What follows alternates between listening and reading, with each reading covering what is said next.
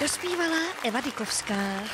Eh, Vy jste mi vlastně říkala na začátku, když jsme se seznámili před natáčením, že nemáte ráda oslovení Evo. Proč nemáte ráda Evo?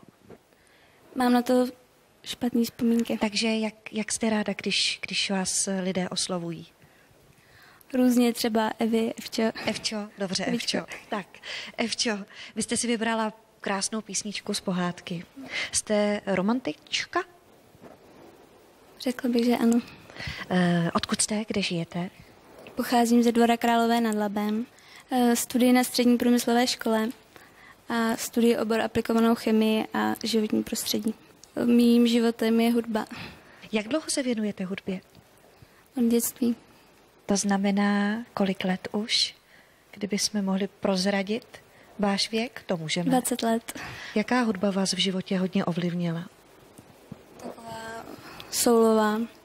Ale také mě eh, hodně v životě ovlivnila zpěvačka Janis Joplin, protože eh, to je s jakým výrazem dokáže prostě zaspívat až vydupat písně. No vy jste zpívala velmi liricky a ona zpívá tak jako trošičku, z- má drive také v těch Také, písničkách ano.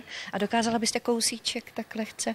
Ona zpívá třeba i Cosmic Blues a to je písnička, kde vlastně použije i takovou tu něhu a takový cit prostě v sobě, co cítí, protože ona sama byla výborná. A já bych chtěla, abyste se s náma rozloučila kouskem písničky, která je vám taková úplně nejvíc blízká srdíčku. Dobře, děkuji.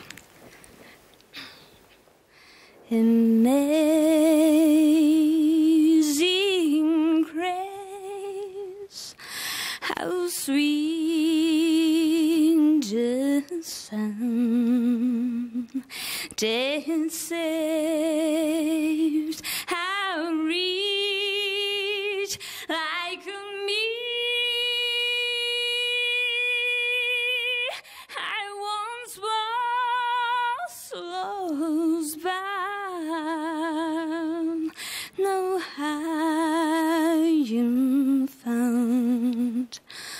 was praying,